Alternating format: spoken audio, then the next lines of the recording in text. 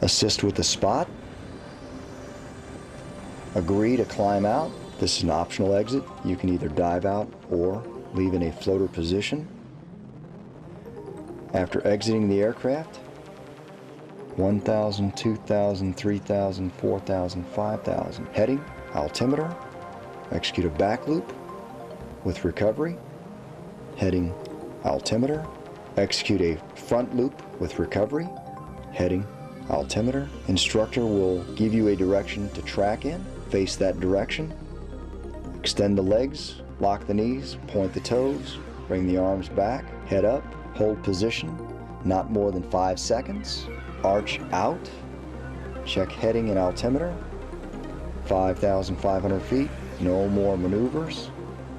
4,500 feet, wave off, arch, reach, throw, check, check, 1,000, 2,000, 3,000, 4,000, check canopy.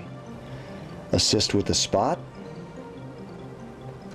agree to climb out. This is an optional exit. You can either dive out or leave in a floater position.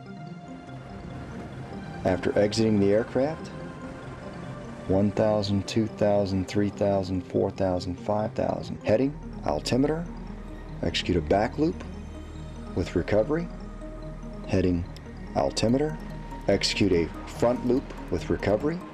Heading, altimeter. Instructor will give you a direction to track in. Face that direction.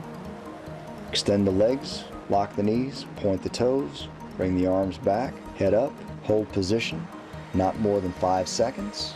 Arch out, check heading and altimeter, 5,500 feet, no more maneuvers.